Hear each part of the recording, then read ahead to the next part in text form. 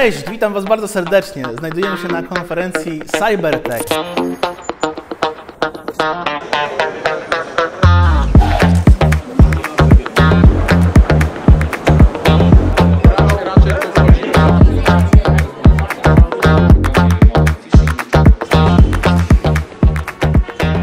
Ambicja jest taka, żeby to wydarzenie kontynuować, żeby miało potencjał międzynarodowy.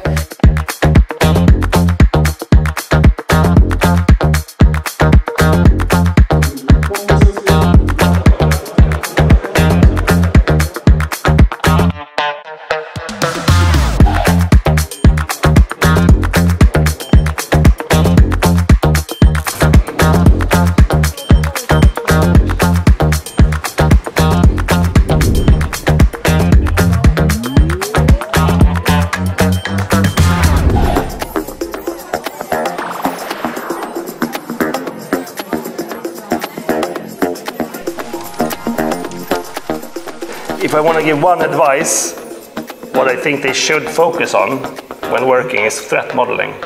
As always, and I think it's very relevant uh, at this point in time, is the people. You see a very uh, short number of, uh, a very low number of OT uh, cybersecurity professionals, and this needs to ramp up. you have uh, to to adopt measure and to use technology that allows you uh, as much as possible to maintain the productivity.